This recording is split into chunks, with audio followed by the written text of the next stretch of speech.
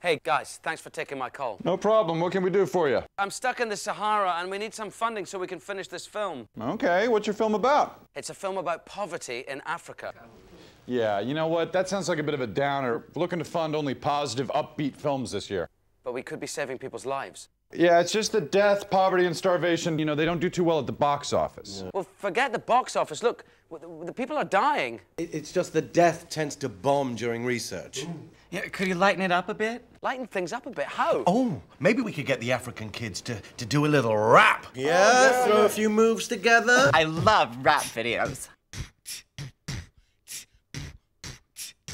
Word up. Okay, look. If you can get people to text their support to make poverty history, then we can look into it. Could they rap while wearing our new orange beanie hat things?